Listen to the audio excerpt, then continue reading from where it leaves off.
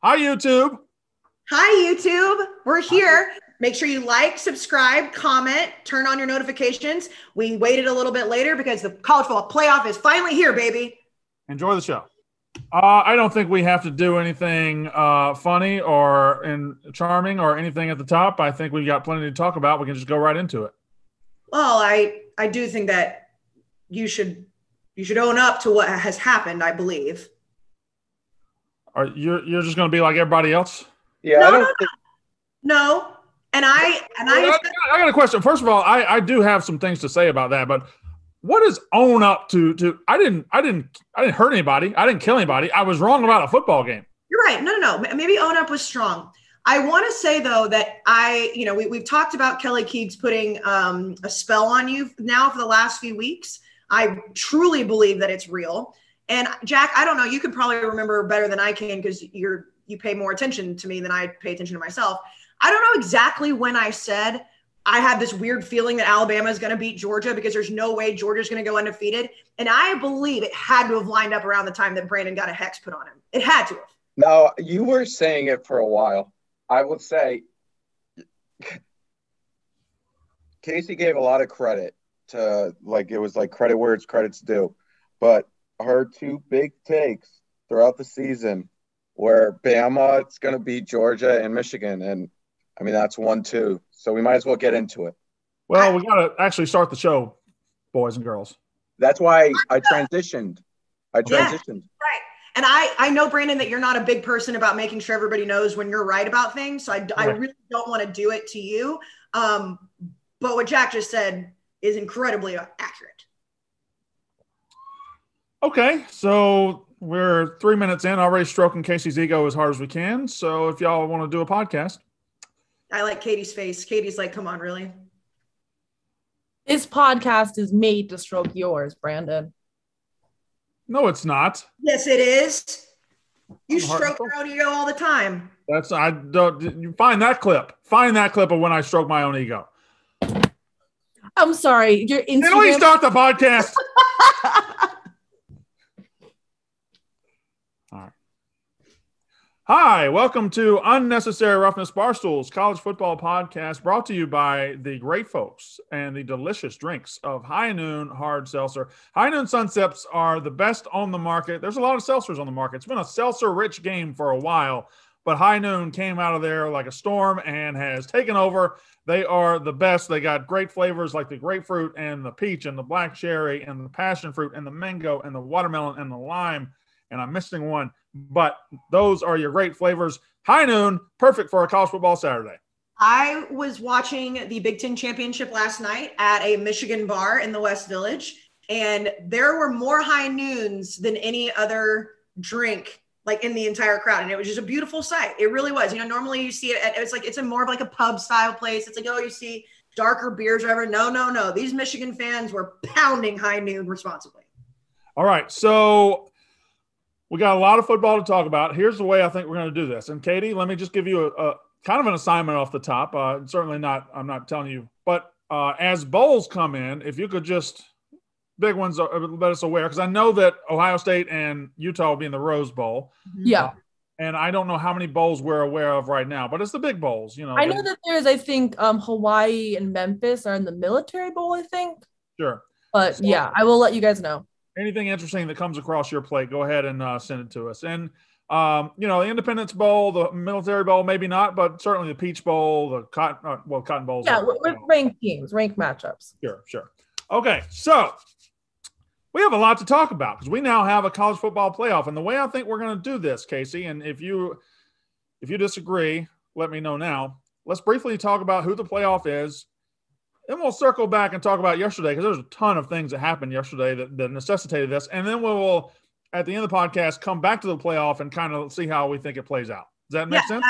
I like that idea. I also think I know we we did this last year too. I think that you know if we focus on the really big games today and then on Tuesday's episode go through all the bowl games. I loved doing that last year. You know, where we actually like said exactly how many we care about. But obviously the big news today is the four. Um, I'm watching it on TV right now. You know, Nick Saban's on there looking like he's just not even happy to be there, even though he is. But a lot of things happen, and usually we do this on Saturday night, so we have like double the amount to talk about. So we the playoff is, and if you're listening to this, you already know it, but we will uh, excuse me, we will go through it. Number one, Alabama. Number two, Michigan. Number three, Georgia. And number four, for the first time ever, a group of five team has crashed the party. It is, in fact, Cincinnati. Uh, I will just briefly go over it. I think the only arguments here were perhaps Michigan and Alabama. It's hard to separate them for one or two. And maybe Georgia or Cincinnati, maybe there was a. Um, there was a, an urge to put Georgia four because of how they looked yesterday. But ultimately, I think we all know the committee just wanted to probably make sure Georgia and Alabama didn't play next game. You know what? I mean, that's the most obvious thing of all time, right? I mean, everybody with a brain knows that. They rolled out, and I always forget the commissioner. What's his name? Barta. Barta. Barta. They rolled him out right after they announced the four, and he said, I know that's what everyone thinks, but it has absolutely nothing to do with our thought process. It's like that is the most bullshit thing ever. Of course it does. They don't want you don't it's a money game. You don't want to see Alabama and Georgia in the semis. And he was like, "Oh no, we didn't think anything about that at all." It's like, "Yes, you did." And everybody knows that you did. Well, I will say this. I will say this. If Georgia Bama met in the semis and therefore you guarantee that Michigan was in the finals, I think that would be a huge money final too. So there there is an argument there that like when you look at Alabama and Michigan, Alabama does have a good argument for number one. When you look at Georgia, Cincinnati, Georgia has a decent argument for number three. So you can you can believe him at face value, and I think be okay. I think there's three teams now that we think can win the national title. I don't know how, how a whole lot of people think that Cincinnati is going to beat Alabama. Doesn't mean it's not going to happen, but I, I, think there's three teams here for for a title spot, and uh, yeah, no matter what you did in the semifinals, I think you've you've got a chance at a at a very interesting final matchup. Yeah, I mean, I again, I know Cincinnati went undefeated, and they deserve to be in the playoff now. We see that it finally happened. The way things that you know, in Oklahoma State losing, I think played a big part of that, and I know we'll talk about that game as well. But I don't think that you could make an argument that Cincinnati should be higher than four. Like if you really look at those teams, yes, uh, because they're undefeated and the way Georgia played, and I understand they killed Houston and everything else. But we all know that Cincinnati is the fourth of those teams. There's just no question in my in my head. That being said, I don't hate Cincinnati's matchup with Alabama. I don't hate it. I don't hate it. We'll get to that later. I don't hate it. I don't love it, but I don't hate it. I mean, don't, don't do it to yourself yet. You got. No, some- but with, with John Metchie getting hurt and Alabama having one elite receiver, since he has one elite cornerback, like is he is he hundred percent out though? I think it, uh, it just came through. Saban says they haven't necessarily determined what it is, but it looks very serious. He tore his ACL. Yeah, it looks like an ACL. So, um, no, but they have again, they have these witch doctors, and we've got a month. So, no, yeah, all right. so, playing. so there's the uh, there's the playoff, and we will circle back to it and talk about it. But first, we got to talk about what happened on Saturday to get us to this point. Um, and I think the the headline stealer here is in fact Alabama's performance in the SEC championship game. So that's the opportunity to go ahead and say publicly, listen, I said it in August. I doubled down, I tripled down that Alabama wasn't going to make the playoff. They are making the playoff. They won the SEC. Uh, I was I was wrong about Alabama. That's that's clear. That's obvious. That can't be disputed. That being said, where did this come from? Where where did how did they play the way they did against Auburn? How they play the way they did against Arkansas? How they play the way they did the last month of the season and do this to Georgia? Like it really it it, it really does some preconceived notions, some some ideas about Alabama. If you just get Saban in the title game, he's going to win it. If you just get Kirby Smart to a big game against Alabama, he's going to lose it. Like I could have seen an argument for Alabama winning this game. I did not see them coming out and absolutely steamrolling Georgia. What you just said is why it doesn't make any sense, but it makes perfect sense. Kirby Smart cannot beat Nick Saban. He just can't do it. And you are, I mean, and I know all season you were very, very high on Georgia as you should have been, and you were low on Alabama in a lot of different spots. I mean, A&M beat Alabama. A&M is not a great team this year. However, there's just something about this hump that Kirby Smart cannot get over. And you're saying, like, not only did they beat them, they kicked the shit out of them yesterday. That didn't even look like the same team. You know what's I, weird about it, though? Go ahead, Jack.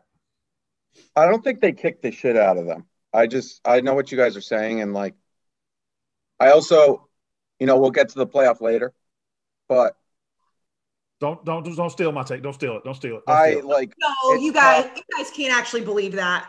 Oh yeah, yeah oh, I 100 percent believe it. You think Georgia purposely lost that game? No, no, no, no, no, no, oh. no, no, no, no. I think I, we both believe Georgia's going to win the national title. Yeah, and like I mean, that being said, I mean, looking at what that game, like the game, they ended up losing by 17. Yeah. Stetson Bennett threw two really big, th- or even maybe three big interceptions. Georgia got into the red zone twice and came away with zero points in those two instances. There was like, I mean, that pass that's embedded threw to um, Bowers in the in the end zone. If he caught that, it's a completely different game. It was a perfect pass. I just think it's there.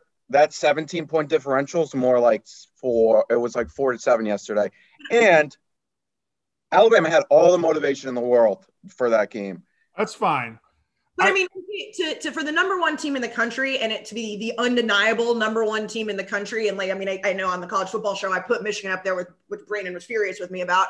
Um, but like to to lose in the SEC championship by 17 points to a team that barely won a lot of games is getting the shit kicked out of you. No, I I I don't know. That's the truth somewhere in the middle there. I, but I, you know when the game changed. You know when the game ended. I'll tell you exactly when the game ended. When you picked them. Why would you do this? I'm kidding. What? I, I'm kidding. All right. The game ended when Georgia scored with three minutes to go, two minutes to go in the first half, and Alabama comes down the field and Bryce Young fumbles the football at the 25 yard line. He fumbles the football, and Georgia has four guys around it. Alabama has Bryce Young. Bryce Young hoovers it up and gets it back and, and recovers it. They go on to score a touchdown. If they don't score a touchdown there and it's tied at halftime, then Alabama comes out. Even if they score at the beginning, they're down. They're up seven. They're not up 14. They were able to score coming going in and coming out of the locker room. Now it's a 14 point game. All of a sudden, Stetson Bennett's pressing and that leads to the blowout. Georgia was also up 10 nothing in this game at one point. Like Georgia, for it's not like they didn't come ready to play. They came ready to play. Alabama hit them with that long play with Jameson Williams, and Georgia freaked the fuck out. And maybe that's a maybe maybe that is a product of the coach. But I think I got a better way of saying what Jack said. I don't know if they beat the shit out of them yesterday, but I do not believe Alabama is 17 points better than Georgia. I don't believe that. Yesterday, the scoreboard said that, but I don't believe that. Well, and, and you guys have both just said it. There are multiple things that fell Alabama's way that if they didn't, things would look different. That's, I mean, that's every football game. The thing, you mean, you just said it. The poise was so different. I don't know if it is if it is a product of playing for Kirby Smart versus playing for Nick Saban. But even in the Iron Bowl, when you know they couldn't score for shit for three quarters, and then down the stretch of that game, Bryce Young looks completely posed here, poised. He never starts to freak out. That's what you saw from Alabama yesterday, and it's not what you saw from Georgia. So I don't know if they're 17 points better, but they definitely play like they're a lot more scared of Alabama than vice versa. And it could be a product of Georgia. I mean, they didn't, they didn't have a close game for the last three months. They didn't have a close game. They had nobody stand up to them, and as soon as it happened, they just they shit the bed. And maybe a month will do them good. You know how like when uh, they always say like dogs or horses can sense if you're scared of them or not. Right. That's the I way think, I feel. Huh? I think it's uh, dogs and bees. Bees. Dogs and bees. And horses too, right? I don't think it's horses. I think it's dogs and bees. Well, whatever. You know I'm what I'm by the little kid from Jerry Maguire. You, did you know dogs and bees can smell fear?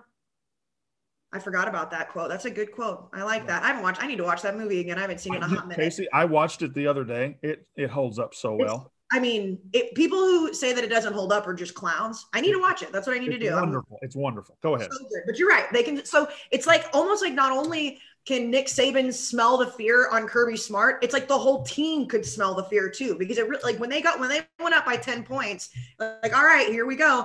As soon as Alabama got a double digit lead, I don't know how y'all felt. There was zero doubt in my mind that Georgia was coming back. They, there was no way they were going to overcome that deficit because once Nick Saban gets up that way against somebody that just does fear him, whether he'll ever admit it or not, like that game was Alabama's from that moment on.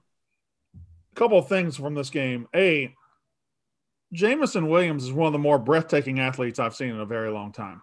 Mm-hmm. That that play across the middle and then him turning it into an 80 yard touchdown showed speed that we don't see very often. That was that was something. And no matter how good or bad of a season Alabama may have, they're still going to take the field on Saturday with guys that can do that. So that that was that was impressive.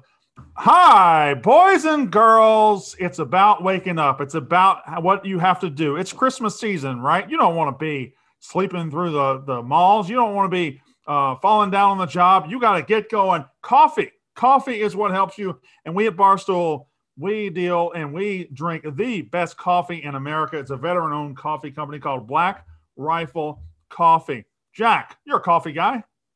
I love coffee. It's part of my daily routine. And I got to say, when I need an extra pep in my step, Black Rifle is right there. Black Rifle Coffee, one, coffee, once again, a veteran owned coffee company serving premium coffee to people who love America. And trust me, Jack loves America. I love Well- America. Katie, I, she might be on the fence. I'm not sure. But it, their veteran CEO and founder, Evan Hafer, spent over seven years on the ground overseas with special forces and as a CIA contractor. This dude sounds like a badass, by the way. Yup. As a CIA contractor, Evan even modified the gun trucks during the invasion of Iraq to ground coffee anywhere. That is a true badass. That guy's at war and he's changing the trucks so they can grind coffee. Okay. That's, I mean, that man, he's a badass and loves his coffee. I'll tell you that much. if you trust anybody with your coffee, it should be that guy who's like, "No, I don't care about the bullets that might be coming. We're going to have some fresh roast. Uh, they import their high quality coffee beans from all over the world, roast five days a week at their facilities in Manchester, Tennessee, and Salt Lake City, Utah. The team at Black Rifle Coffee continually researching and experimenting with new roasting methods and coffee origins. And the best way to enjoy their Black Rifle coffee, Jack, you know what it is? It's to join their coffee club I've heard about this coffee club. You pick the perfect roast, how much and when you want delivered to your door, and they take care of the rest. It's free to sign up, and you get free shipping, discounts on partner brands, and early access to new products and club exclusive products. Go to blackriflecoffee.com slash anybody want to guess? Walker. W A L K E R, my name, heart and soul. Use code Walker today and get the freshest coffee in America. Again, blackriflecoffee.com slash Walker. Use code Walker and get the freshest coffee in America sent right to you. Um, the Heisman Trophy was won, was finished off yesterday. That was uh, by the by halftime of that game, the Heisman Trophy engraver could have gotten started. Bryce Young eviscerated, eviscerated a Georgia defense that was giving up 6.9 yards uh, a 6.9 points a game, 238 yards a game. He had that by halftime. Bryce Young is the Heisman winner, and I will give you my top five uh, that I think it'll finish in just a minute. But Um, the, the I, I feel like because and we talked about this last week too. It's like because he was the front runner going into this weekend, he absolutely destroyed their defense. But he was also the front runner who was playing yesterday. So it was right, like but but I, I think I, I really believe if Bryce Young comes out and they lose 21 to seven, he doesn't play well. I think Kenny Pickett won the Heisman last night. Yeah. But yeah, but but he you know he didn't have the chance because Bryce Young had already sewn it up, and I think Kenny Pickett finished up second last night. Like that, we, we always talk about Heisman plays, Heisman highlights. That fake that fake slide would have been a perfect Heisman moment. I the first time I watched it, like when it was live, I didn't notice it. And then obviously the broadcaster started freaking out, and I went immediately to Twitter to watch it. Like that was perfection. Like, does he practice that, or was that just in the moment? I'm I probably a little bit of both. love I would bet he's probably thought about it. He's probably thought about it before. Like, oh, if I ever get the chance to do this, I'm going to do it. Um, but we like to ruin things as college football analysts and fans and everything. And this morning's been just full of tweets saying this shouldn't be legal. This will be off the books soon. Like, just enjoy it for one fucking time. Just enjoy the moment. But what's an actual argument of why he shouldn't be able to do that? Well, because the defensive players did check up because they, he was sliding, and that's what you taught. That's what you teach defensive players to do. That's what defensive players are expected to do to protect quarterbacks. And if he took advantage of that, so I can see the argument, but let's just enjoy it one time. Yeah, no, I, I I see it, sure, rationally, but it was really fucking cool, and I'd like to see it happen more often. Yeah, but the next time, if a if a quarterback slide does slide and a defender um, takes his head off, Yeah, that's true. I guess it is pretty dangerous, but it was cool to watch in the moment. Nothing bad happened. back to um, back to Alabama and and and Georgia. I still just can't fathom where that came from from Alabama. This is this was a team that didn't look great a lot of the year. This was a team, but they walked into that that environment, that championship environment, and just something happened to them, man. Something happened to them. But They've been there before. They that that's that is it's it's the Nick Saban, Bill Belichick curse that no, I mean, no one. It's like they've been there so many times, and I know it's different in college versus pros because they're kids. But it's like when you play for the greatest college coach of all time, and you have the talent that you do, those moments don't scare you. was yesterday more about Alabama or more about Georgia though? Well, I guess it would depend on who, what side you're on of it. Like, I mean, I to me, it's like I, I took Georgia on the college football show because I was a, a sheep and I followed on. But I mean, I took Alabama money line a few weeks ago because I was like, I just there's something weird about this. To me, what it said was is that Georgia is not as good. Uh, he they're not leaps and bounds above everybody else like we thought they were, which I had already started to come around with Michigan after the way they beat Ohio State.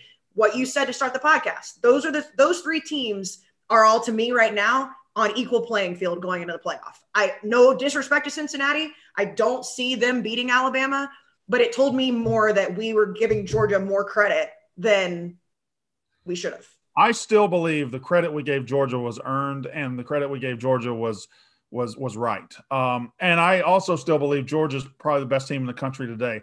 I think they're embarrassed right now.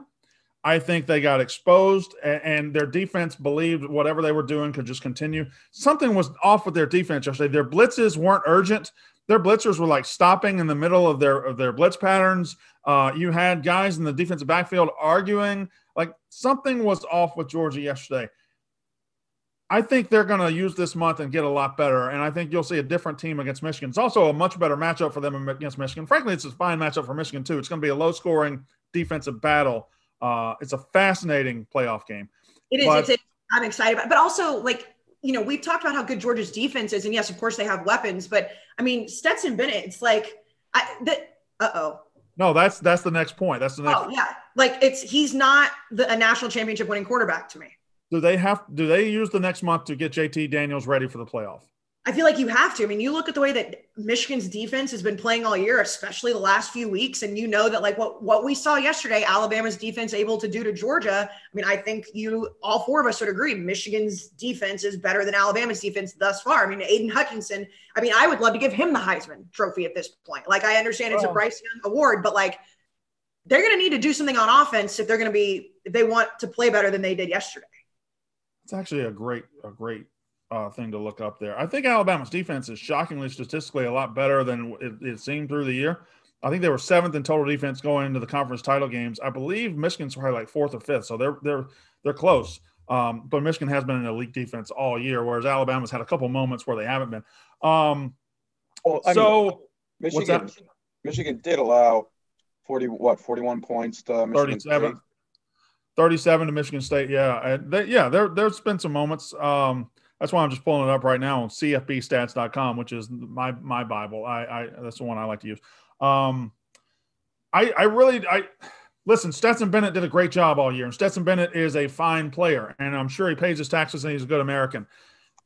What happened to Stetson Bennett yesterday, I believe he could win a game against Michigan. I think he could.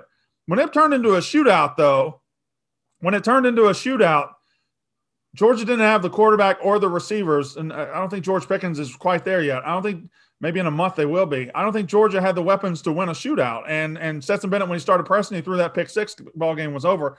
I think he's better than what he showed yesterday. But if you've got if you've got multiple five stars at every single position like Kirby has, and you're rolling with a walk-on quarterback, sometimes you're going to have walk-on problems. And he he did look a little overmatched at times in that game yesterday. And you have a five-star quarterback over there who's He's going to be fresh as hell. Now you got a month to get him ready. I think JT Daniels starts against Michigan.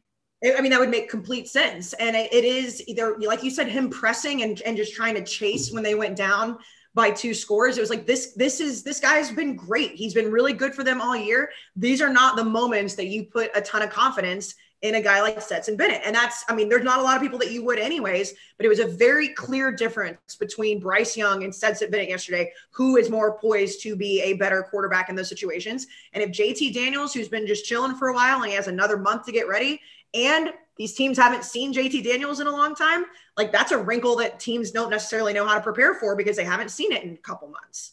Uh, total defense, Alabama's better. Uh, they're six, Michigan's eight. Scoring defense is where Michigan's elite. They're fourth in the country at 16 points a game. Alabama's uh, giving up 20 points a game. So um, very similar defense. Um, yeah. So so there you go. You've you've got now. Uh, and people people like laughed at me yesterday. People people did all these things, and that's fine. I, I spent a year. If you're going to spend a year building on a take, you got to be ready to catch it when it goes wrong. But the people laughing y'all realize we just might be heading toward the SEC championship game again. Yeah, I, I liked that tweet that you when you said it. You're like all these people that are like talking shit realize we're we might see this again. Like we might, you know, this is this is not a bad thing for the SEC. I did, I, I was laughing at the, as I do believe that most people were joking, tongue in cheek, but there were definitely like a facet of people out there that you know on Twitter they're like, oh, this is on purpose to get the SEC to have two teams. It's like, no, it's not. Georgia didn't fucking lose on purpose. But we could very easily see this again. I mean, I I don't I think Michigan's going to beat Georgia, but it's not out of the realm of possibility when there's only four teams and two of No, them. Have I I personally I looked it up this morning. You know, Alabama's minus one thirty five or Alabama's minus one twenty to win it all. Georgia's plus one thirty five. Michigan's plus four fifty, and Cincinnati's back there. Um, I think Georgia. I think Georgia's going to win the national title. I, I, I think Georgia. Georgia is embarrassed, and this is the most important month of Kirby Smart's coaching life. He has built this roster. He's gotten to this point. Yesterday, he could have killed the monster. He didn't. The monster killed him. But this ain't the end of the movie.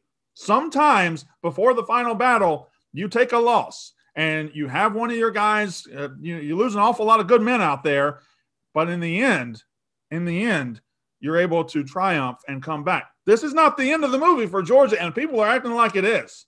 No, I mean it, it would be a hell of an ending. I mean, you know, again, we I, I this this season, even though today was very anticlimactic, I mean, I think we there was no drama and who was going to be uh, in the playoff because mostly I believe Oklahoma State uh, losing and then Alabama. We knew that both Alabama and Georgia were going to be in, but this year has been full of parity. We've talked about it week in and week out, and just that Georgia going undefeated and winning the national title just didn't feel realistic because of how weird everything was you're right. Like what one hell of a story for Kirby Smart if he does lose the SEC championship the way that he did and then ends up in the national title and beats Nick Saban, beats the big bad Goliath.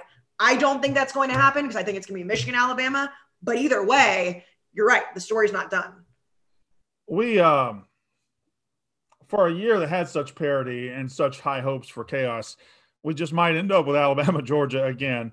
Um, but we do have half half an old school playoff and half a new school. Like Michigan, Cincinnati are two newcomers here. Michigan, an all-time elite program that is getting back on its feet, and Cincinnati, the party crasher. So so you've got like half a traditional playoff and half a uh, a brand new playoff. Um, we'll transition off the SEC right now, and then let's talk about Michigan. So Michigan is the number two seed, and Michigan, to me, whatever takes were had about Michigan in September and October don't matter at all anymore because we do act like teams don't evolve in college football, and they do. This is not the same. T- even even though they were good, and even though they were winning, even though they're seven zero, oh, the seven zero oh team and this team completely different. This is not the same Michigan team from a month ago.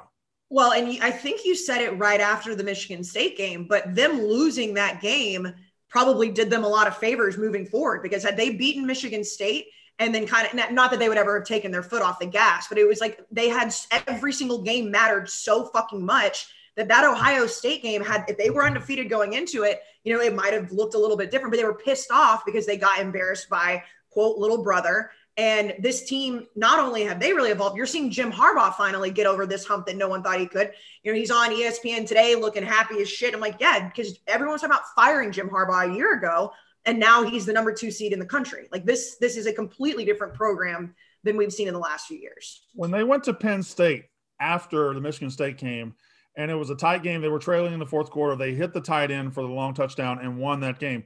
Since then, I believe they put up 59 against Maryland. What was it? 42 against Ohio State, and then 42 last night against Iowa, and they've given up hardly anything. Um, they are different. Th- th- this is the best version of their team. They're rolling into the playoff, and I'm almost like, boy, a month off probably hurts them more than anybody else because I think they've got the best rhythm of anybody in the country right now. But that's just that's that's what you sign up for when you talk about the playoff.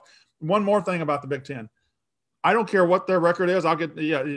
Uh, I don't care what their record is. I don't care if they go undefeated. Iowa can't be in championship games anymore. They I can't watch Iowa in big games. Brandon, go off king because I, we both said this a few weeks ago before we knew before we knew that wisconsin was not was going to shit the bed. And i said and you agreed i think i was the one who said it in a, in a worse i said it would be a travesty if we had to watch iowa in the big ten championship. And iowa fans coming at me like oh why would it be a travesty these kids? Like did you guys watch that game last night? That was boring as shit I was like, I, I, mean, I was in a Michigan bar and they would celebrate, you know, every couple of minutes because Michigan would score and then everybody would just go back to playing pool and talking because it was so boring. Iowa, Iowa at some point over the last 10 years discovered the quarterback uh, fake handoff and roll out to the to the near side of the field with a fullback and tight end running cross spider two Y banana is what Jon Gruden called it. They discovered that pass some years ago and they ran it 94 times last night against Michigan. It never worked. Jack, you have a point. Michigan beat Wisconsin by 21 points earlier in the season. Yeah. So like, let's not forget that either. It's not No, like that. Like, we- But we did say that. I mean, teams are different by the end of the season, and I I believe if you look at where Iowa was at the end of the season versus the way Wisconsin was playing, I think Wisconsin no, would. no, at no. I, I, hold on, hold on, timeout. Iowa deserved to be there and should have been in the game, period. They were a better team than Wisconsin. What I'm saying is just from an aesthetic point of view, I can't watch Iowa play important games anymore. That was, I'm just making a joke. I'm not really being serious here. I mean, but do you think now, like if you look back and I and I understand Wisconsin lost to Minnesota for the Axe, I still think Wisconsin would have been a better game than what we saw last night. Last night, Maybe, was, but maybe, but Wisconsin should, well, maybe, but Wisconsin should beat Minnesota. Wisconsin, Oh, I Wisconsin, agree. I-. Iowa deserved to be there because of the way things that shook out. But if I was going to sit here and say what I who I think would have been a better matchup for Michigan last night, it was not Iowa. I mean, Iowa they, they shouldn't have even been on the same field. I don't think I don't think there's anybody in the West that would have given them a good game last night. I think they would have killed Wisconsin too. Like they they went to Wisconsin and, and treated them like bitches. Jack's right. Um, but but I think Michigan is just the best team in the Big Ten by a significant margin at this point in history. Uh, I, I I don't. I mean, they beat Ohio State by 15 last week. Whoever showed up in Indy was going to get beat last night. My my little joke is just Iowa just is just an awful team to watch play football. Yeah, Um, well, you also don't like Iowa, so that's, That's fair. true. I, I don't like Iowa. Did you see the video that Dave put up where Trent was talking to Trent? Trent? Yeah. So funny. Like, and I love Trent. I think Trent is amazing and he's so nice, whatever, but it is so funny. It's like just everybody that is an Iowa fan looks the same. I just I got I got a beef with one of those people that went, and I, I'll have that on Pick Central tomorrow. Oh, you you can't bury the lead there. I want to know. Well, I mean, Big Ev is an Ohio State fan, and Michigan embarrassed Ohio State last week, and it wasn't his choice to go. They made him go, but he just shows up in Indy, bets on Michigan, and is in the stands rooting for his arch rival. That you can't do that. Yeah, you can't do that. But then again, I mean, what what can you do if you're up against Dave in that moment? I think I got a wild take. Why don't people just embrace being against Dave? Why don't they have to? no, no, like, I mean, like, wait, he, he he wasn't going to be able to root for Iowa. He could have. Well, that would be dumb. That would be dumb if you bet on That Iowa. that would be that'd be funny. but I- would- it would have been dumb. why? You thought Iowa had a chance to beat Michigan yesterday? I, I don't know. I'm just saying it would have been funny if he embraced the Iowa thing.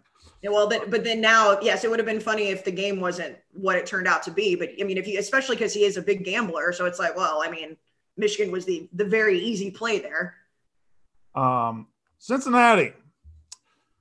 Cincinnati is in, and Jack, Katie, uh, everybody, I would like for your take on this.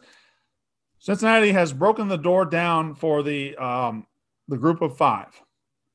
I don't know if this is repeatable, though. I don't know if it's repeatable, and I, I'll tell you why.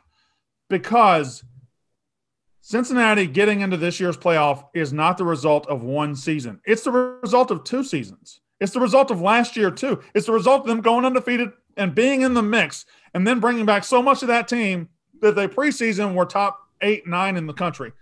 It's hard for a group of five team to put together those two back to back years of, of solid respect. They were also able, and this was just the hand of God coming down they were able to schedule what ended up being the number five team in the country and beat them at their place.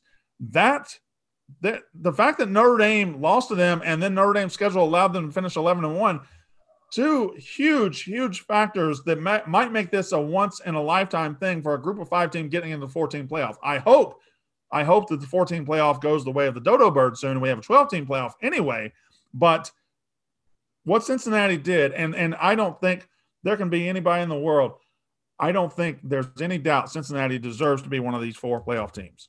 I agree with you. And they actually, I think it was it was either David Pollack or Joey Galloway saying that you know that they they're bitching last year, you know, that they were just a small part of a big group bitching that Cincinnati didn't get an opportunity to get in. And, you know, UCF a few years ago, when they said that they won the national title and then they came out and didn't have as good of a year, it is 1000% correct that had, Cincinnati not put back to back seasons, they would not, we wouldn't see it happen. But they had no choice to put to put them in.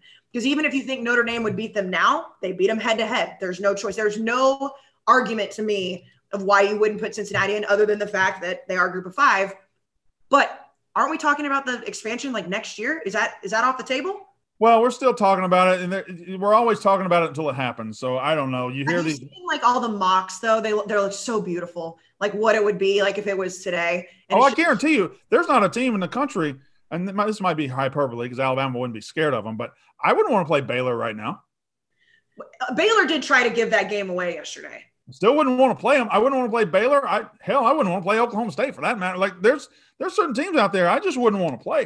Um, I think I think uh, it's hundred percent repeatable. Like it, it probably happens once every five years. But Yeah. if Houston went undefeated with their schedule when they beat Oklahoma, Oklahoma made the playoffs that year, um, and Houston won that game. So you could have seen, you could have seen uh, Houston do that. Obviously, you need some things to break their way.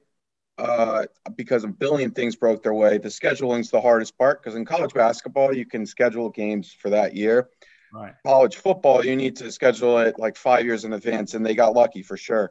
That's what ha- needs to happen for the G5. But I mean, let's not forget we're like a year or two removed from uh, like a very common take being, hey, there's no way a G5 team will ever make it. And now a G5 team's in, and now we're thinking, oh, it won't happen again. It, if it stays at four, it's possible.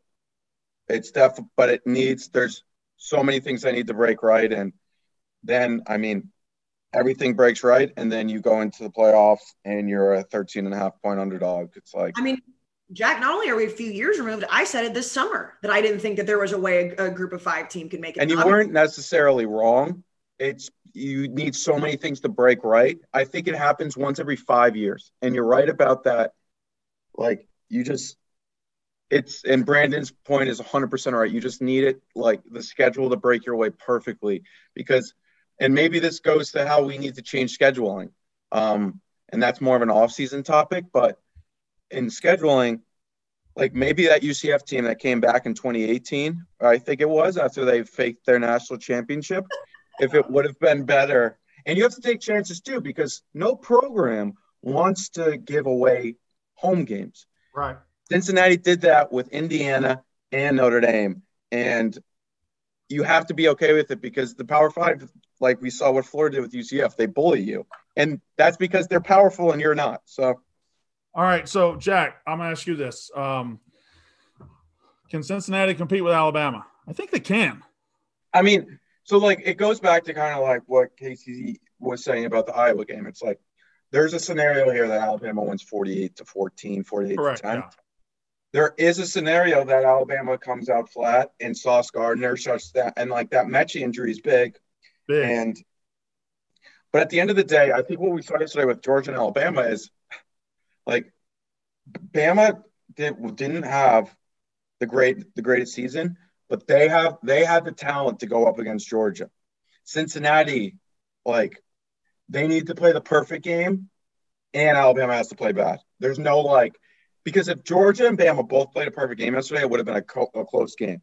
yeah. But in the scenario yesterday, it was Georgia not playing well, and then Bama coming out and saying, "Hey guys, like we're amazing." So Well, the only reason I think that is is Alabama took three elite offensive players. Three. They don't have a running back right now. Brian Robinson's hurt. He's not very good. Uh, they have two elite receivers, Metchie Williams, and they have a, a Heisman Trophy winning quarterback. They took those three elite players and put together a plan that just decimated Georgia. Okay.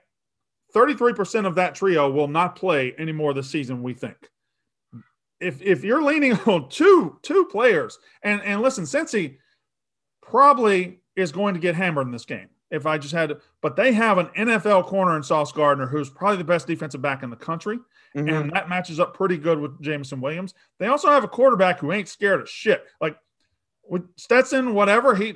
I don't think Desmond Ridder is going to get rattled easily. I think Desmond Ridder will be fine. And they also have a home run threat at running back. Go ahead, Kayce. Sorry. No, I no no no. I that I completely agree with you. Like watching Desmond Ridder play, and again, you know, you, you know, Notre Dame was a huge game, but we haven't seen him play on this stage yet because it's quite literally never happened. But he doesn't seem to be the guy that's going to get rattled. I do think, you know, and, and I I know that this is a completely different Alabama team. It is, it is every single year. There's just so much to be said about just knowing that you've been there before, knowing that your coach has been there before, knowing that this experience of of going to play for a national title or playing in the semifinal is not new. So Cincinnati deserves to be there.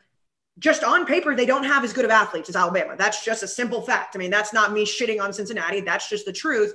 I don't know if they'll be able to stay as calm as we've seen them because this is the biggest game by far in their history. But I do think De- Desmond Ridder doesn't look like he'd be scared of anything at this point. So maybe I just don't see a world that Alabama loses to Cincinnati. We I did. We did see Ridder go into Notre Dame though, Yeah. and and they didn't. And if you recall that game, they started to shit the bed. Notre Dame was coming back, and I I believe they went on like a not a long drive, but like they're like, no, we're gonna win this game. I think they and last year we can't like downplay that their game against Georgia. It is kind of like it's not the playoff, but it is like kind of it's like it's it's it's a decent game, and then yeah, and then Jerome, you have the Jerome Ford aspect that he did play at Alabama, and then one more uh, element here. One more element here. We are kind of basing the the the Alabama we're going to see uh, December 30th or December 31st. We're basing that on the Alabama we just saw yesterday. It can't be ignored that they did spend 12 games this season not being that team. They were that team like against Ole Miss, and they were that team against Georgia. But this is a team that laid an egg against Auburn. This is a team that laid an egg against Arkansas. This is a team that laid an egg against Florida. Like they've got that ability in them, and and we we assume it won't happen in a championship environment. It certainly didn't happen yesterday, but it's in there. It's definitely in there but that and and but this on the same facet too is it's like we didn't think that georgia had in them what they did yesterday. I mean again i i i say this because i really didn't like it's i'm not trying to like rub it in. Like i said alabama was going to be in the playoff. I took alabama money line but by the middle of last week i talked to myself and you're like what are you talking about? Like all this like juju. There's no georgia's just the better team. But like you just wonder if like Al- did that does it matter how alabama was beating these teams when they just beat georgia the way that they did? Like i don't to, to me, the Alabama that lost to Texas A&M is not the same Alabama from yesterday. Um, all right, so um, you know what the worst thing in the world is, Jack? Tell me. It's when your penis doesn't work. But you know what the second worst thing in the world is? I think it's debt. More specifically, it's student loan debt. Yes. Student loan debt. I know you're you're one of these big guys who wants to forgive all student loan debt, but until that happens, until that happens, we got companies out there like Earnest who are going to help you with easy, practical ways to attack your student loan debt. You can refinance your student debt at earnest.com slash barstool. Earnest.com. They know what they're doing. Earnest offers low rate student loan refinancing, and you can check your rate risk free in just two minutes. With Earnest, you get radically flexible payments and you can pick your loan term. By refinancing, you can reduce your loan term, save money, or combine multiple loans to do a simple monthly payment. If you have questions, you can even talk to a real live human at Earnest for help. Isn't it time you stop feeling overwhelmed by your student debt? Yes, yes, yes. You need to stop getting overwhelmed. Plus, holiday season, you're accruing like credit card debt. You're, you're taking care of everybody, but take care of yourself. Go to earnest.com and attack that student loan debt. Do it the right way. Earnest is offering our listeners a $100 cash bonus. Refinance your student debt at earnest.com slash barstool. Terms and conditions apply. I'm not going to do the sexy whisper, but I am going to read this. Visit earnest.com slash barstool for more details. Terms and conditions apply. Earnest student loan refinancing made by Earnest Operations LLC, NMLS number 1204917, California financing law license number 6054788. 535 Mission Street in San Francisco, California, 94105. Visit earnest.com slash licenses for a full list of licenses. Um, for some news came through. Um, Joe Brady is out at the Panthers. Are we going to see him in college football next year? I think it's a little late for him. I I, I don't know where he would uh, where he would land. Uh, we'll see. What, what, what we got some coaching news to talk about for sure. Um, Oh man, I wish he would have gone. If he went back to LSU, that'd been awesome. Well, I mean, there you can't rule. I mean, he could go back there as an offensive coach. It's true. Um, All right, so we have to. This has all been happy, right? This has all been great. Alabama's in, Georgia's in, Michigan's in, Cincy's in. Classic Mike Gundy yesterday. Oh. absolutely classic Big 12 title game, which that got the day started. I thought, other than the Michigan Iowa game, which was a stinker because Michigan just thumped them, uh, I thought it was an incredible day of football, and it got started with a Big 12 title game that was absolutely edge of your seat, heart pounding football, especially for the last quarter of that game. I I differ from people, and, and people believe that Oklahoma State, because they lost yesterday, are, is not a good team. Oklahoma State is a good team. Oklahoma State's a very good team. Oklahoma State lost to a team in a close game, a team they beat by 10 earlier. It's hard to beat teams twice. Dave Aranda is a very good coach. Baylor also got a lot of bounces. But I want to start this game by this. How did that running back not get that touchdown at the end? I I it was it was like I was seeing things. How the fuck did he not make it in the end zone? How? Now 42 How? 42 for Baylor is an incredibly fast player and he tracked him down. Uh, but the way that play was called, it looked like it was called it, it looked like it was a well called play and was going to be a touchdown. He also the running back instead of going on direct line, he kind of curved a little bit and gave up a little bit of ground. And that little bit of ground was probably the or two that he needed to get in the end zone. It was very much like Michael Penix against uh, against Penn State last year. Penix was given the touchdown. This guy didn't quite get there, um, but incredibly thrilling into a college football game. Yeah, and you said you think it was probably the difference. It was, I think it was absolutely the difference. Had he not just given that little bit of room to be able to get caught, like I feel like he would have just waltzed into the end zone. I, it's you know we talk about Jim Harbaugh getting over the hump, and we talk about Cincinnati now getting over the hump for the Group of Five. Mike Gundy does this too. Mike Gundy, you know, it's like every year, like they would have been in the playoff yesterday. I really believe that had they yeah, won. I, I, I think it's all conjecture. I think if Oklahoma State wins yesterday, Cincy's out. I do too. And and and that's even before, you know, obviously at the end of the Big 12 championship, it was like, well, we don't know what the SEC is going to look like. There was a moment where I was like, holy shit, are we about to see Notre Dame and Cincy in there if Georgia wins? Like, because Mike Gundy played the first game and he had that gigantic moment to be on a national stage and put them into that, it was like, well, Mike Gundy's going to Mike Gundy. And I don't know if that ever changes, but they they would be playing, they'd, they'd be the number four seed today. And they just couldn't do it. He couldn't get into the end zone. Um, yeah. So I, I, I just they fell behind, and Spencer Sanders, who who has gotten them to the brink of a playoff, had his worst game as, as a college football player. He tried to fight back. He threw four interceptions. Uh, Baylor had touchdown drives of like 10, 30, 43 yards, uh, and they were able to win the game.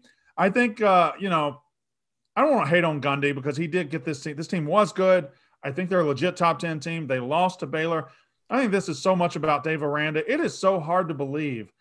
LSU, Florida, USC, Oklahoma, all these jobs came open.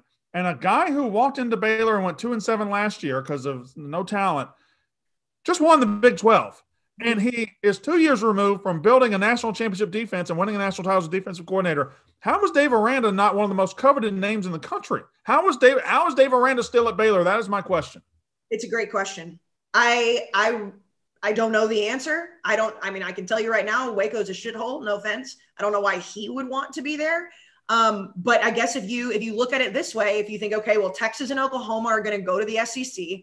Uh, you know, it's it's all kind of in the shift. And if you can make Baylor the program in the Big Twelve, like I mean, it, he's he's got himself in a pretty good pretty good situation, especially knowing that.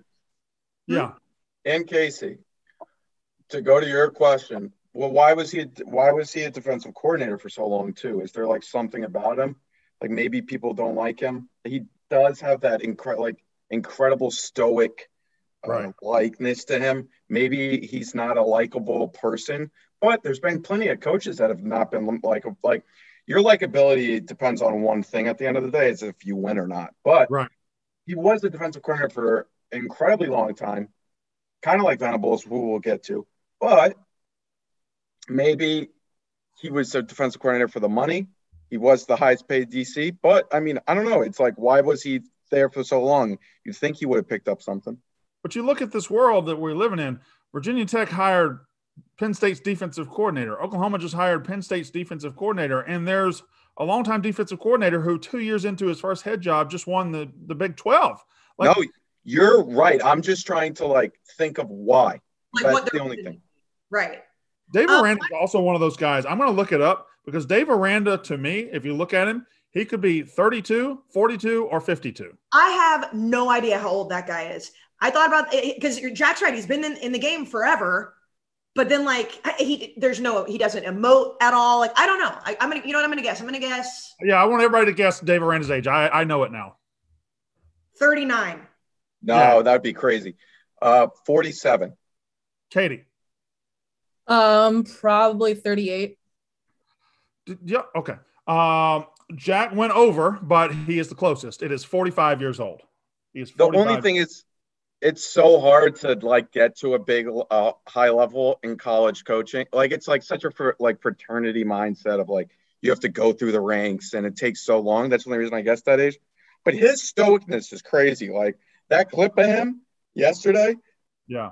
like i mean i get like expecting it but like i think nick Nick Saban in those situations goes crazy. Like it's I don't know. It's like some. It's really something. Jack, I have never in my life, I've never in my life seen a coach that nonplussed about a moment like that. He he looks down the line at, at the biggest likes- play ever for them, the biggest play, and it's a defensive play too. It's his guys. It's his guys that make the defensive play, and it's the stadium erupts, and he just okay.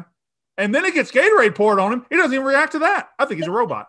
He uh, he didn't even like smirk a little bit. You know, like when Saban, like he's trying not to emote at all, but you know that he is, and he has that little tiny smirk. Dave Aranda just like, I mean, uh, he's the be- might be the best actor of all time. He might be in the wrong profession. But he, if he's a Terminator? What if he's a Terminator? Can you rule out that he's a Terminator? No, I mean, hundred percent a sociopath, though. Damn, that guy's a sociopath. Like even when but they were like, "Oh, doesn't matter. yeah." What did you say, Katie? Sorry he wins, so it doesn't matter. No, it doesn't matter at all. But but he like even when they were like, "Oh, why did you kick that field goal?" He goes, "Oh, point differential." Like he doesn't consider the other things. He no. was like, "No, point differential. It's going to matter at the end of the season." Like he, uh, like Lincoln Riley was mad about that because Lincoln Riley's like a real human being that thinks about things. Like Dave Aranda is just like, no point differential. Just he is like, he's strictly programmed.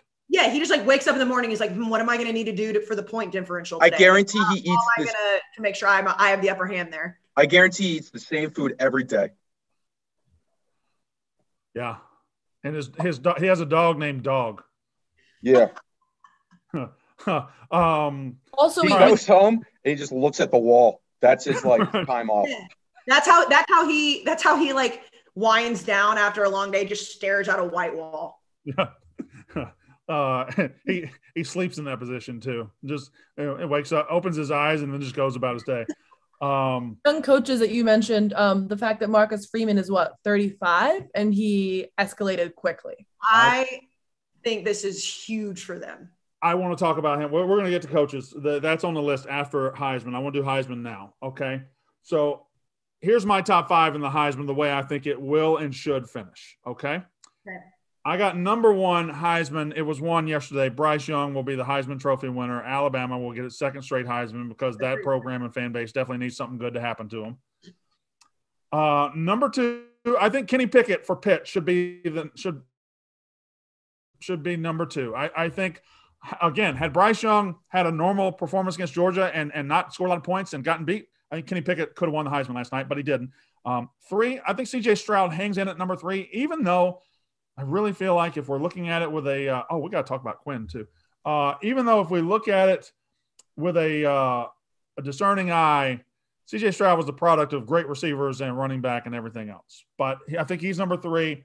Kenneth Walker, the third running back, Michigan State should be number four. And I give the five spot to Aidan Hutchinson defensive end Michigan. He was the defensive MVP of the title game yesterday. Will Anderson didn't really do much in the SEC title game. They both ended up with 14, 14 and a half sacks, but Hutchinson had his in bigger games. I got Aidan Hutchinson as the number five Heisman finisher. Jack, you raise your hand. So I think you're right. That's a really good list. I have to say, Will Anderson's stats are insane. They're better than Hutchinson's. I and maybe I would love maybe this week I'll dig into them and see maybe he had like eight sacks against like Campbell or something. But no, I um, looked at it. I, I looked at it because I wanted to make this point. his stats against SEC teams are, are very good. He got really started when he had four sacks against Mississippi State. Um, okay. But he doesn't have like I was expecting to see maybe in non-conference play he had like seven or eight sacks and it just no his his his stats and Aidan Hutchinson's stats line up conference wise very similarly. Aidan Hutchinson stacked his sacks against uh, Iowa, Penn State, and Ohio State. He had three each against Penn State and Ohio State.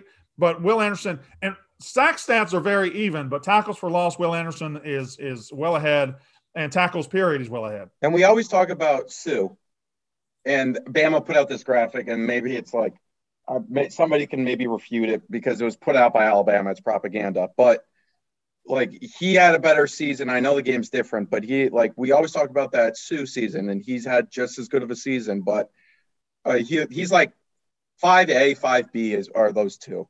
To me, though, Suh did it from defensive tackle and, and and and, just dominating from the middle of the line. That's so hard to accumulate stats there. And Suh yeah. did it. To me, Suh and was- Hutchinson, I think, has the Heisman isn't like who the best player is necessarily. It's like who's Hutchinson was like the guy for Michigan this year. I don't know if you remember, but remember uh, in the offseason, we were talking about like storylines, classic storylines.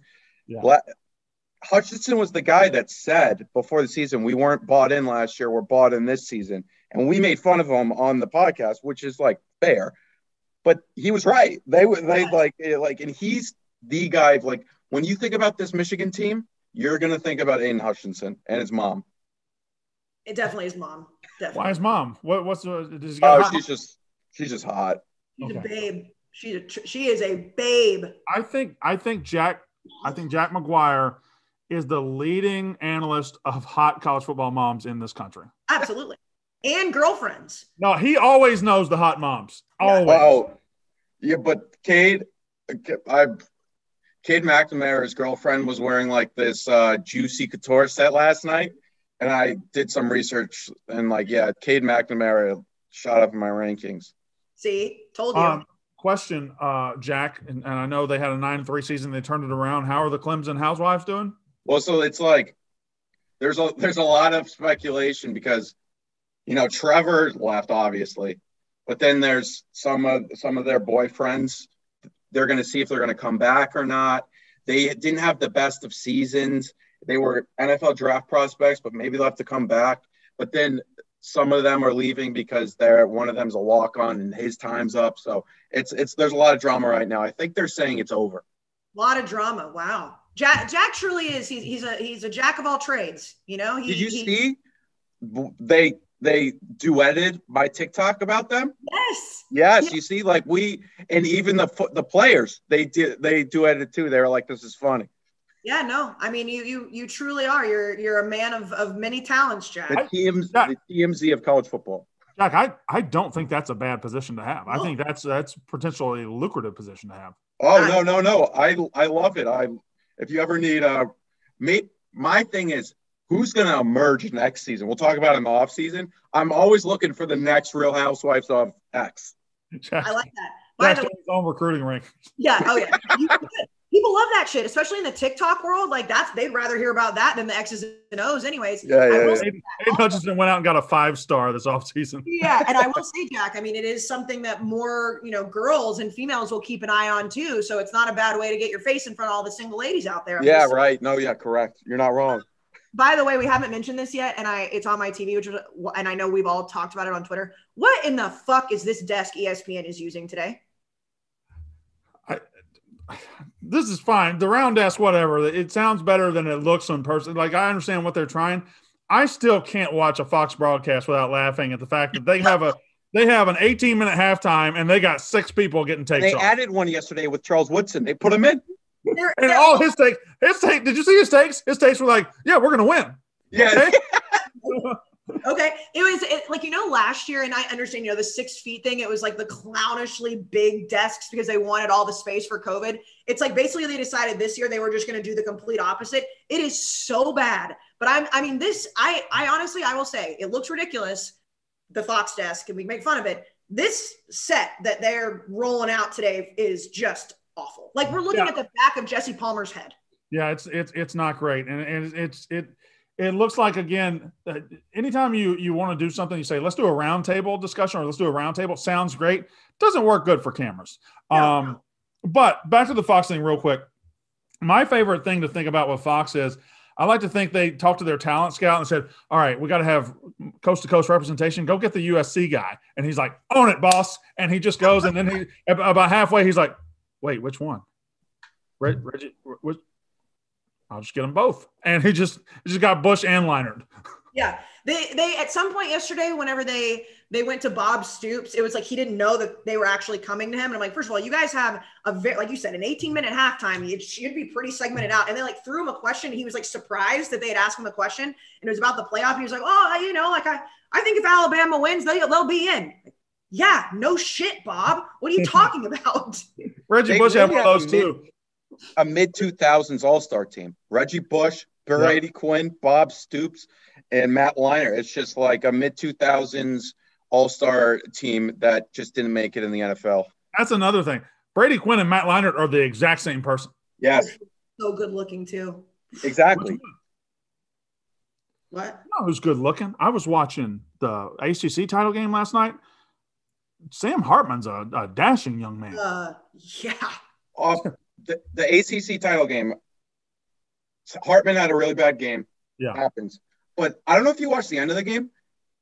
Sam Hartman was like like having existential crisis on the bench. Yeah, and ABC couldn't stop zooming in on him. They were like, and RG three was like, when I like when this happens to me, like I'll, I'll, like go talk to my coach, like get the cameras off the guy. Like I get it one shot, but they like zoomed in on him multiple times. It was weird. It's like let the kid like have his five interception game in peace.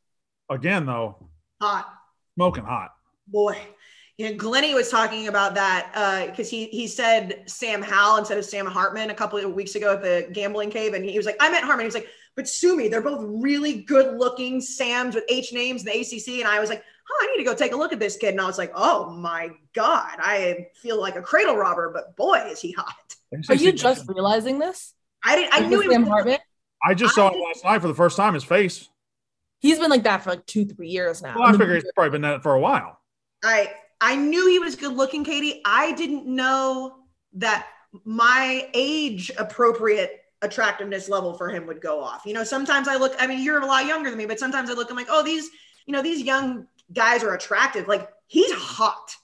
Tired Sam Hartman, wired Aidan Hutchinson. I tell you what, though. Oh, I haven't. I, I, don't know what he really looks like outside of his uniform. Uh, I tell you what, ACC had some hot quarterbacks this year. Braxton Burmeister at Virginia Tech was very good looking too.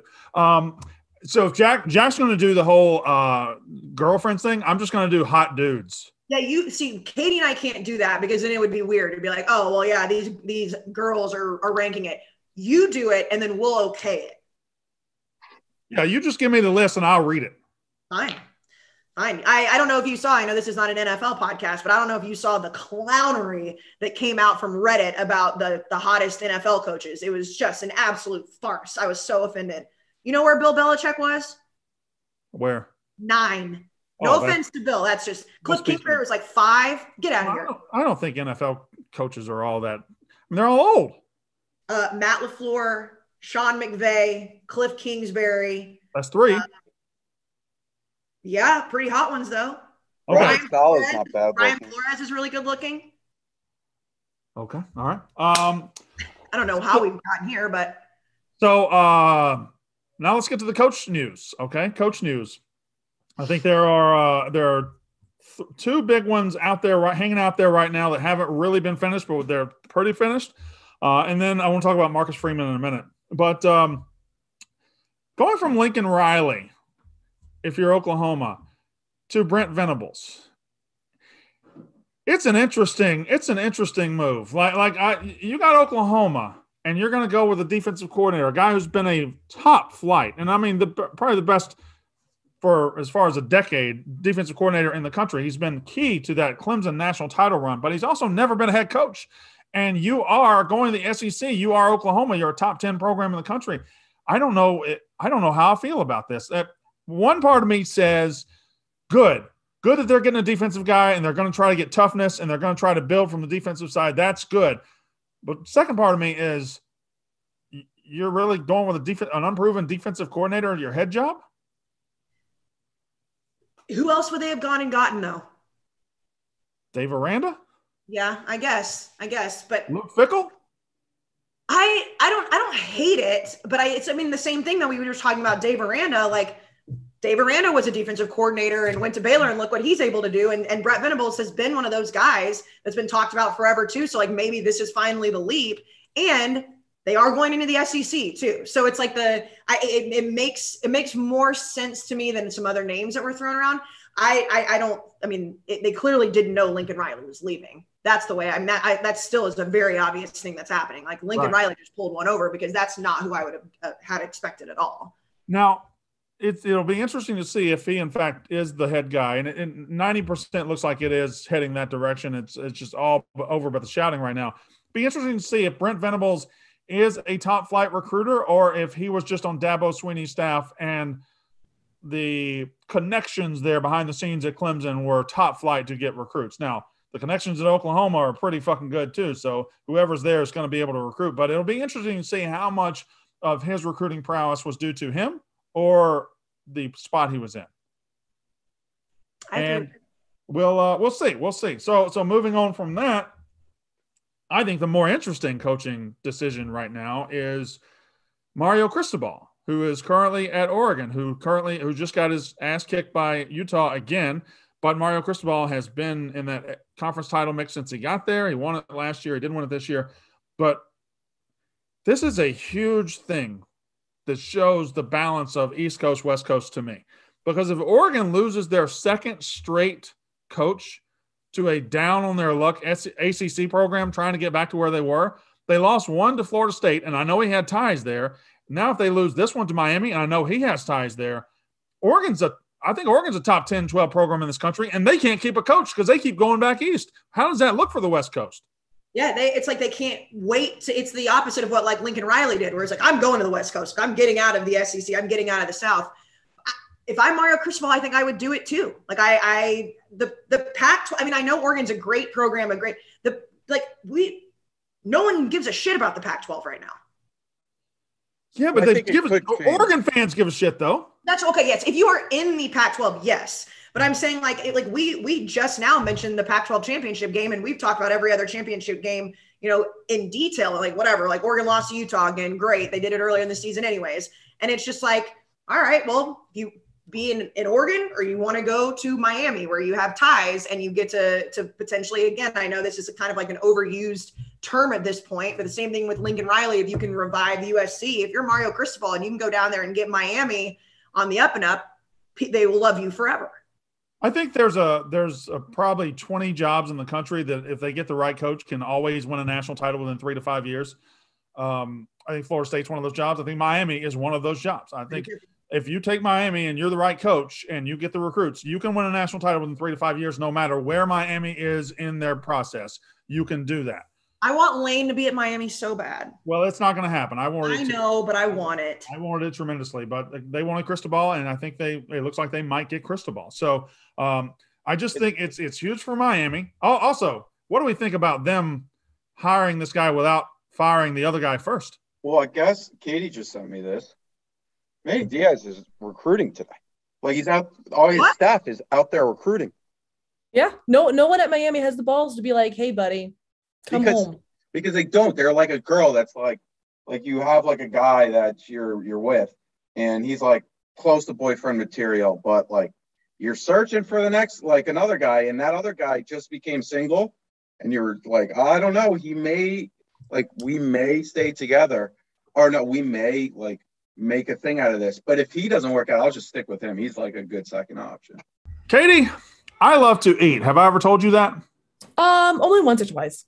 I'm fat, is what I'm trying to tell you. But that's just because I don't take care of myself. But when it is time to eat, I am always on the go, and I don't like stopping and getting fast food. I don't like making my wife putting her under a lot of pressure and making her or asking her to create a large uh, meal that takes a lot of time we're on the go in the Walker family. And because of that, we get HelloFresh sent to us. And I mean, we get HelloFresh sent to us a lot. We get two boxes a month. HelloFresh, if you don't know what it is, it is a meal service that takes the hassle out of going to the grocery store, takes the hassle out of meal planning. It takes the stress out of buying perfect ingredients because HelloFresh is a service that sends you freshly made, wonderful ingredients with re- recipe cards that you follow that 30 minutes or less. They send you the food, they send you it in neat packaging, and they send you it with the instructions that any idiot can follow. And HelloFresh makes sure you get a clean, healthy, wonderful, easy to make meal every single night. The holidays can be hectic, but HelloFresh helps keep things simple with recipes that cut back on meal prep and cleanup so you can spend less time in the kitchen and more quality time with friends and family. They offer 50 menu and market items to choose from every week, including vegetarian, calorie smart, and gourmet options, providing plenty of variety. HelloFresh Market has this season's entertaining cover with options like their holiday cheese and charcuterie board and skinny dip dark chocolate peppermint almonds. What, can I read Ooh. that again? Skinny dip dark chocolate peppermint almonds. Hello. Uh, that sounds wonderful. I love HelloFresh. Uh, it really is easy to make. You get the box, you take it out. The ingredients are all fresh, they're healthy, and they're good. They are good. Their sloppy joes are elite. Great food. Their pastas are good. It is a perfect, perfect experience. Um, go to HelloFresh.com slash Walker14, and here's what I'm going to do for you. Use code Walker14 at HelloFresh.com for up to 14 free meals and three free gifts. Am I giving you three free gifts? Yes. I'm also giving you two weeks worth of meals. Two weeks, 14. That's ridiculous. Go to HelloFresh.com slash Walker14. Use code Walker14 for up to 14 free meals, three free gifts. There you go. HelloFresh, America's number one meal kit. Do we have? Uh, I think Mississippi State's going to play Texas Tech in the Liberty Bowl. That's been uh, that's been the rumor in Starkville. That's Mike Leach against Texas Tech, who he still oh, has yeah, an outstanding lawsuit against, I believe. Wait, what? Oh, well, he, well, he was fired wrongly because of Craig James's bitch ass son. I think uh, they've had that lawsuit going for like ten years. Yeah, um, remember when he had like a he had like a protest outside Texas Tech's uh, stadium, like like pay make Mike Leach or something. What's the thing with Craig James and hookers? Well, I don't want to get us sued, but there's like uh like I think if you wanted to look look something up on the internet, you would right. find a decent amount of reading material about Craig James potentially. Uh, that was like, like an like some hookers died on his watch per se. That that was like internet 1.0 stuff. That was like one of the yeah. first move, movements of the internet where people just repeated that, repeated, repeated that. Now I don't have any information if it's true or not. I do know Craig James got Mike Leach fired. That that is uh, incontrovertible fact. fact. Yes, that's yeah. fact. Um, and I'm not sure looking back if that was the right move. No, no, I am sure that was not the right move. No. Um. So Cristobal to Miami uh, is is is just huge for what it looks like for Oregon. You know, like like losing two straight coaches to to Florida teams is just it's just not great because Florida has. I mean, Oregon has Nike money. Oregon, and and I know that there's this thought that Lincoln Riley's about to own the West Coast, but one team can't own the West Coast. There's room for USC and Oregon to both be powers at the same time. And frankly, I think USC coming back to power is going to help Oregon uh, as they get stronger. So um, anyway, uh, and then I want to go back to Notre Dame because it happened between our last show and now. Um, Marcus Freeman got the job. And, oh, wait a minute. oh, glory, glory be heavens to Betsy. I forgot to talk about Brian Kelly. oh, sh- I might I be henpecked. Show, uh, show enough forgot about Brian Kelly coming down to the old great South to resurrect and let the South rise again. Unreal. Like this man got on an airplane and was all of a sudden born in the deep south for his and just lived there his entire life drinking sweet tea on the porch with grandma. I was it was just like what like you know when i go when i go and i'm around my friends from right. boston you know i'll i'll notice that i sound a little bit more like them. Or if i go back home to texas he was doing it so egregiously on purpose that it was just like come on man. Like it's not like you just like are like a chameleon and you've been drinking around your buddies. Like you sound like you're purposely trying to sound like an asshole. He was there for a day and he got off the plane sounding like ben mintz he, he was there for one day this is so great for my family. You're from Massachusetts. Yeah. Like, and I mean, and you know, obviously you and I both being from, you know, South and Texas, whatever, like I've heard plenty of accents and they're all fine and good, but you can tell a fake one. you can tell when they're not real. And that man, he has he's not gotten a lot of practice. I also think this is all funny. It's fun and games. This has potential to be a bigger deal than you think because if that guy tries to walk into Louisiana and Mississippi and Texas living rooms and pulls that shit, that ain't gonna work. That, that, I promise you, that ain't going to work. You can't put on an act in front of Southern people if you're from Massachusetts or you're coming from Notre Dame. They're going to see through that. They're going to think you're talking down to them. That's not going to work. Now, what will work is I find it very, very interesting that Notre Dame players and administration seem to be just fine with Brian Kelly leaving. They seem to be just fine with Marcus Freeman taking over. Marcus Freeman walked, and this is my favorite YouTube uh, phenomenon that we have these days. It used to be scholarship videos, and those are still great. It used to be bowl bowl announcements like uh, Western Michigan, the Bahamas. But my favorite new YouTube phenomenon in college football is the team finding out the new coach, and it's one of their own. I remember Missouri had a great one a couple years ago when it was Barry Odom getting introduced, and they freaked out. And now Marcus Freeman gets introduced to the Notre Dame players, and they freak out. I love seeing just dudes being dudes and welcoming in one of their own. Yeah, I think it's great. And like they they seem very very happy. And that's what you want. Like, you know, we talk a lot about players, coaches, and I mean I, am sure we the media and the people that do stuff like we are, we're not the media, but you know what I mean. Um, like we might play too much into it sometimes and think it means more than it's it does. But then you see all these programs that like you know they love their strength and conditioning coach because they he is a player's guy. Marcus Freeman seems like he is that guy to them. But they're just happy that he's there. They're embracing him and they're like, whatever, Brian Kelly, go down south and drink your iced tea and sound like an idiot. Oh man, shucks a mighty guys. Not because the accent's an idiot, not because of that. I'm not saying he sounds like an idiot trying to recreate the accent. Sweet sassy molasses boys, it's just good to be y'all's coach. Did you see what Clark Lea said about it? What Clark um, Lea said? yeah, he uh, he's like, I'm happy for Brian Kelly and whatnot, but there's a quote says, adapting his accent will be part of his success. Like Clark Lea was Notre Dame's uh, coordinate defense coordinator last year, and he's in Nashville. Has he signed a record deal to to cover Garth Brooks songs? Are they all just doing this Southern shit? Nope. Um, also, uh, before we get out of here, we're going to circle back to the playoff one more time baby boy Quinn Ewers has pieced out of Columbus. This guy, this guy gave up his senior year of high school, went to Columbus, got 1.4 million dollars in NIL money.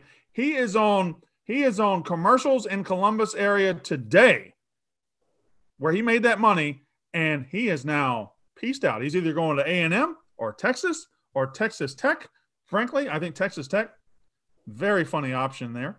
Um, he's at Texas Tech right now. He's out there. He's visiting there. Yeah, per Twitter.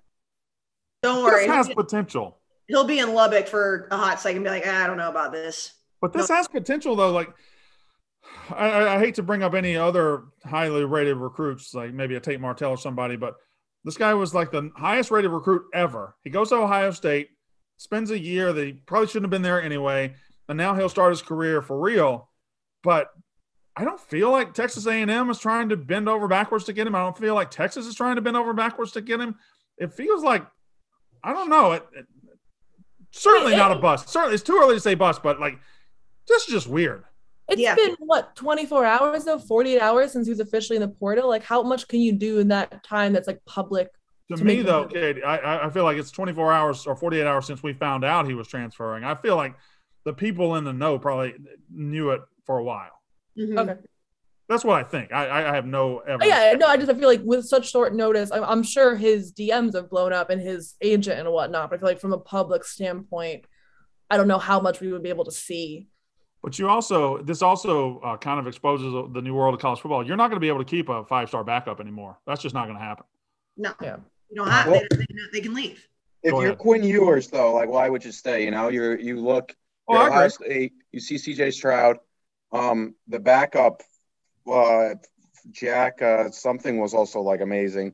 Um, and they're bringing in another guy this year who's also amazing. If you're Quinn Ewers, I know you're the top recruit at like possibly ever, but if you're at, you're thinking, you know what?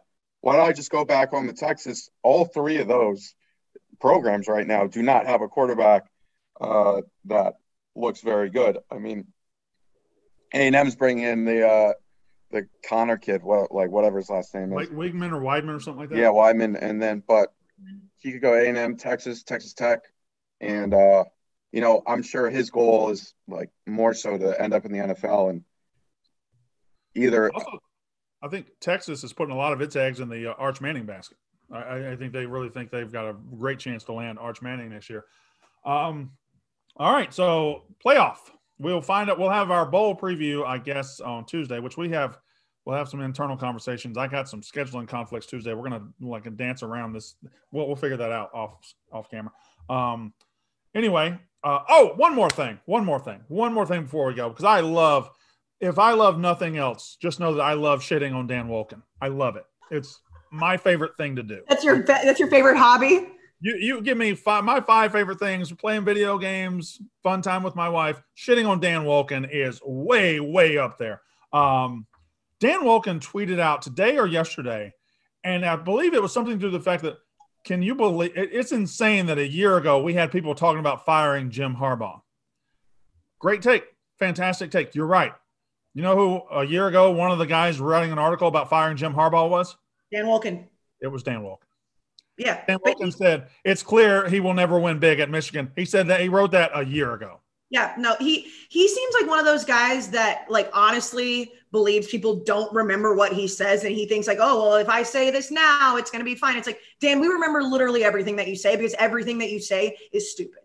I think I, I've moved from from uh, pleasantly mocking him to laughing at him. Now I think I just outright hate him, and I think that's a problem. Eh, I think I hate Dan Wolken. healthy hate. Healthy hate's okay every every now. I mean, Oh, I love some good hate. you're not going to do anything about it, so it's But like what- a very wise, wise, good-looking, heart and soul man once said, "The most valuable commodity in college football is hope, but the most abundant is what." Katie, first of all, what are you? Who is I'm not that? going to go to effort to make it actual. I'm just talking about how earlier you were saying this podcast is not for your ego. So I'm just going to sit here and just wait for you to finish. Not oh shit. no. intended. No intended. okay. Um, We- On another note, we forgot about one big coaching change. Um, Bronco Mendenhall for Virginia. You guys have any thoughts? Yeah, that one was that one came out of nowhere. Um, I don't know. I don't know that I have thoughts on that. Well, that might be. to be honest with you, I don't really. Um, what what is still out there and available is is uh, I, I was, Oklahoma hasn't really done it yet. Miami hasn't done it yet. Um, who's still available, Jack? Vir- Virginia is obviously available. Virginia Tech is filled. Washington Duke State is is. Washington State filled. I think they're doing from internally. Uh, it came out a few moments ago. Louisiana is going to promote from internally their OC. Um, though not for their coach uh, coach openings, but Adrian Martinez is in the transfer portal. I Which is think like- that's the best case scenario for him and for Nebraska. Nebraska has to get out from under him. They're a quarterback away from competing this year. I'm eating bacon, by the way. Um, and a, a new uh, environment might help him. I, I saw he was in Manhattan. He was visiting Kansas State. That's interesting. Yeah. Um, all right. And Dillon Gabriel has an official visit with Ole Miss. So, He does. but Oh. oh god, Ah! Ah! Are you dying? I don't know if that's a cough or a sneeze or a choke or what. But they, I also saw that I think it looks like uh, Jeff Lebby's going to go somewhere and not necessarily. I think Jeff Lebby's going to Oklahoma. And in fact, the the the the rumor I heard yesterday was um, was Brent Venables uh, as coach. There's a defensive coordinator as well, and then Jeff Lebby as offensive coordinator, which that might mean Dillon Gabriel goes to Oklahoma. Anyway, you, we can't predict the transfer portal. It's about to get buck wild crazy out there.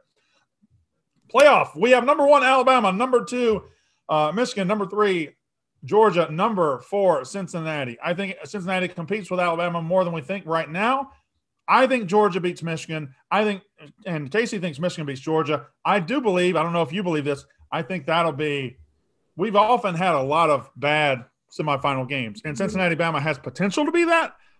I think, as far as the semifinal goes, this is one of the better matchups I've ever seen. Yeah, no, I mean, I, I tweeted it immediately. Said like, "Feed me Michigan, Georgia." Like that, I, I think Michigan's going to win, and I know we we obviously have a month to break this whole game down and really get into it and talk about you know the different matchups and whatever. My gut says Michigan, but either way, I'm excited because there's so many times you know, especially like all the college football haters, they're like, "Oh, like the playoffs always stink," and I think there is a pretty good possibility that Alabama Cincy is one of those games.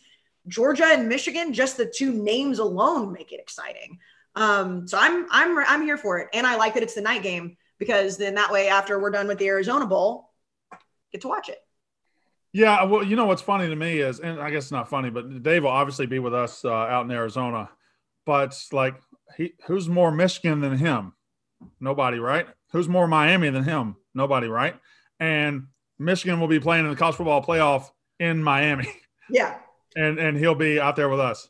Yep. That's just just the way the cookie crumbles. I and, and I know I know that he's you know he's Barstool above all else, but it is funny to think about. I, I can just see him in the third quarter being like, "All right, well, I gotta go," and he just my, my Jets here. It's on, it's on PJ, and he's in Miami by the time they kick off. Um, oh, that's a great one. So I assume we don't know our Barstool Bowl yet. I think maybe you know, Kent State having lost that uh, that conference championship game. Oh, okay. Kayce knows something that I don't know. Wow, that's. Can't we also say what it is? Because by the time this comes out, it's going to be announced. No, no, no. We can't say it. Okay, uh, that was one. Of, yeah. Wait, you guys know? Yeah. That's who I, I was just on the phone with Dan too. Yes. Okay. Well, I don't know. We can tell you after. Yeah, and I also need to. I need to do a video. So. Okay. Well, now I'm texting Dan. Say who is it? Because that's we can finish the podcast and tell you. I understand that. I want to know from him. I want to. I want him to tell me because he's calling Kayce. Why ain't he calling well, me? He's not calling me. Jen called me because you don't have kids. Yeah, they want they want me to do a, an announcement video. Okay. Here, I'll, um, show you, here, I'll show you something that. It's that fine. It's fine. Okay, got it. Okay. Um, Jack, blur that. A, that's a good place to end it, right? We'll talk more about the playoff on Tuesday. We'll talk more about the bowls on Tuesday. I think we got everything out. Jack needs to get this out quickly because I know we got a lot of people uh, waiting for it. I've got DM saying, "Where is it? Where is it? Where is it?" It's coming. Um, so, anything else? I don't think so. Purdue and Tennessee in the Music City Bowl. Who's that? Purdue and Tennessee in the Music City Bowl. It seems. I actually don't hate that matchup. All right, that's unnecessary roughness.